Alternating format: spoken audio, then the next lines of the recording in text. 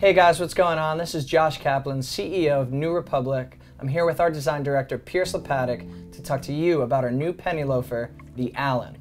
Over the past year, we've been meticulously refining our dress shoe selection, and this is the first introduction of our new, improved penny loafer. Pierce, tell us a little bit about the shoe.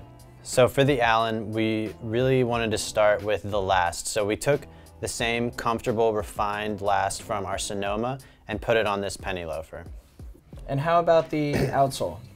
The outsole is really special. We used a stacked leather sole with rubber treads on the bottom so you have grip and durability in all the right places. But then that just wasn't enough for us. So what we did was we cored out the inside of the leather and put a hidden internal EVA midsole to make the shoe so much more comfortable and to drastically reduce the break-in time. So just to clarify, what we've actually done is rip out the inside of the shoe and replace it with high impact foam.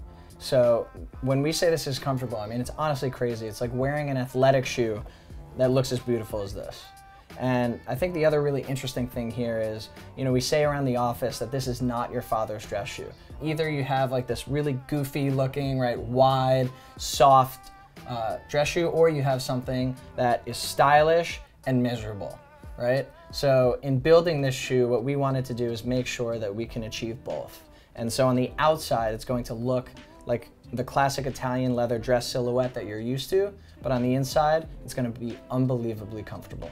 Some other key features that we um, applied to the shoe to Im improve the comfort was we lined this thing with full leather, so you're gonna get that soft feel around your foot. It's gonna really help it help you feel that it's molding to your foot.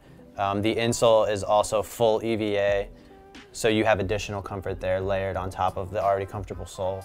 So we're releasing the shoe in the fall. So we have three essential fall colors. We have the chocolate brown leather, we have the black leather, and then we have the chocolate suede. And what I can tell you is that especially the suede is going to be incredibly casual. You could wear it with a button down and chinos, or you could wear it with a suit. It's really versatile. I 100% agree.